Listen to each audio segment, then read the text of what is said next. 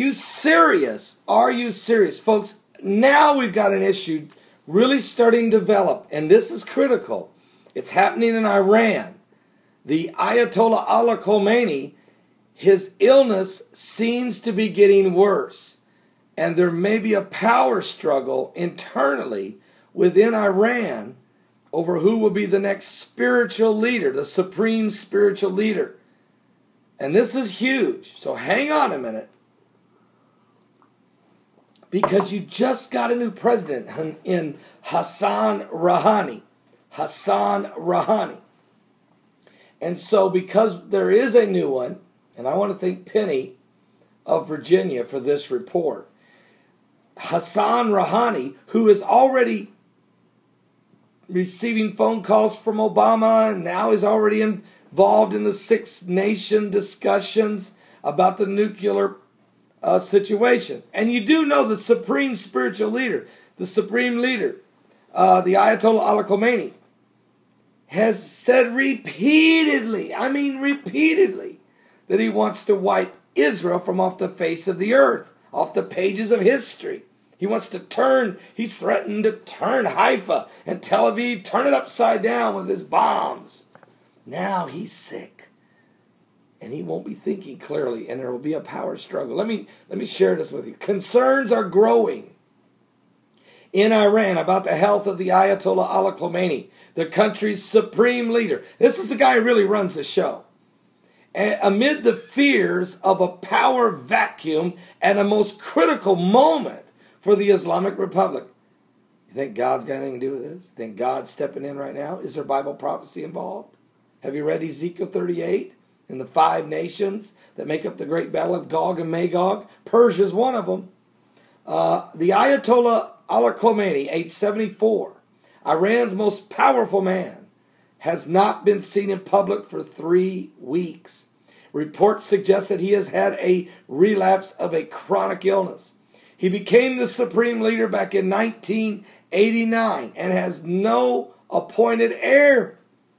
His death, or even a prolonged absence, could prompt a power struggle as negotiations with the West over the Iran's nuclear program reaches a critical stage. All these things seem to be setting up the moment.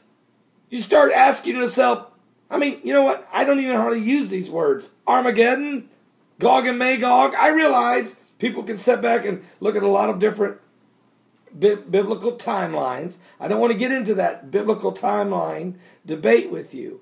I'm just asking questions. When you begin to read what it says in Ezekiel 38, let's just focus on this current world events and how they relate to Bible prophecy. Because certainly the scripture says, And the word of the Lord came unto me, saying, Son of man, set thy face against Gog and the land of Magog, the chief prince of Meshech and Tubal, and prophesy against him, and say, Thus saith the Lord God, Behold, I am against thee, O Gog, the chief prince of Meshech and Tubal, and I will turn thee back and put hooks in your jaws, and I will bring thee forth, and all thy army and horses and horsemen all of them clothed with all sorts of armor, even a great company with bucklers and shields, and all of them handling swords. Now, we're talking about Russia here. God is saying,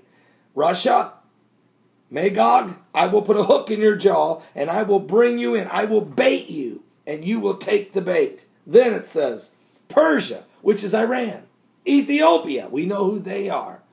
And they're going to rise, as they're already starting, by building this new Renaissance dam in the Nile River. It's going to turn 80% of the water of the Nile River into Africa to the nations of Ethiopia, Kenya, the Sudan. They're going to take the water away from Egypt, give Egypt a little trickle, about 20% of it, which is prophesied actually by the prophet Isaiah in Isaiah chapter uh, 19, verse 6, which we know we're living in those days of the overthrow of Hosni Mubarak and, and the one year fierce king, cruel lord, the reign of Mohammed Morsi, and the land is drying up, and we know the locusts have been there, and now the Nile River is being turned away. Okay, get this.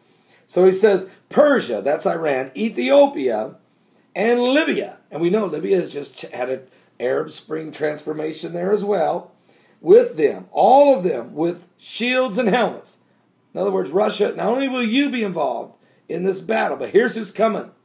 Here is who's coming Persia, Ethiopia, Libya, all of them with shields and helmets. Gomer and all his bands, which is descendants of Russia, and Togarmah and the North Quarters, that's descendants of Turkey, and all of his bands, and many people with thee. Be thou prepared and prepare for thyself, thou and all thy company that are assembled unto thee, and be thou a guard unto them. So it tells us that this great battle is coming. Now, I'm just referring right now to the Ayatollah al Khomeini. The fact that he is sick and may die, who takes over for him? Do they have a plan? Or does Hassan Rouhani, does he rise up and try to become both Presidente and supreme spiritual leader because he is a Muslim cleric. It's a question. I'm just asking a question in the most critical time in the history of the Middle East, and actually the most prophetic time in the history of the world. What's going to happen now? Give your life to Jesus Christ. We're living in the last days, and Bible prophecies happening at every every it seemed like every day? No every hour